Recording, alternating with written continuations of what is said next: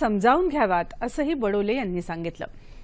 अकोल्यातल्या डॉक्टर पंजाबराव देशमुख कृषी विद्यापीठात पाण्याअभावी पिकांवर परिणाम होत आहे.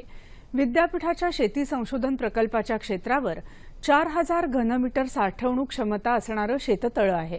त्यातून तुषार सिंचनाद्वारे पिकांना पाणी दिलं जातं. विजेविना पायडल यंत्राद्वारेही पाणी दिलं जातं.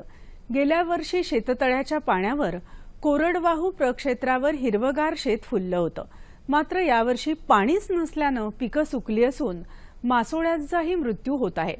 नेपाळ इथलं राईसाग हे विद्यापीठातलं महत्वाचं आकर्षण असून ही भाजी देखील इथं फुललेली आहे दिसते. त्यावरही परिणाम झाला आहे. देशात अखिल भारतीय कोरडवाहू समन्वयित प्रकल्पाची पंचवीस केंद्र आहेत. त्यातली तीन राज्यात आहेत. यात अ दर्जाचं केंद्र अकोल्यात आहे.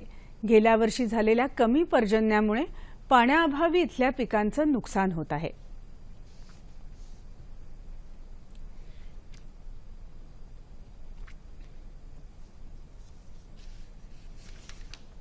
हे जे शेततळं आहे याच्यामध्ये जे खालचा जो मातीचा स्तर आहे तो चुनखडी असल्यामुळे या शे शेततळ्यातलं पाणी खाली मुरत नाही आणि या शेततळ्यामध्ये वर्षभर पाणी राहतं.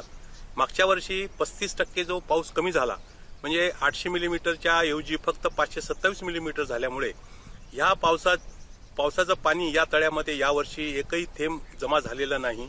म्हणजे अपधाव रन ऑफ ज्याला म्हणतो पाण्याचं ते झालेलं नाही. त्याच्यामुळे हे तळं यावर्षी आटलेलं आहे. मराठी रंगभूमीवर मैलाचा दगड ठरलेल्या मोरूची मावशी या नाटकाचे दिग्दर्शक आणि ज्येष्ठ रंगकर्मी दिलीप कोल्हटकर यांचं आज सकाळी पुण्यात दीर्घ आजारानं निधन झालं. ते बहात्तर वर्षांचे होते. दीनानाथ मंगेशकर रुग्णालयात त्यांच्यावर उपचार सुरू होते.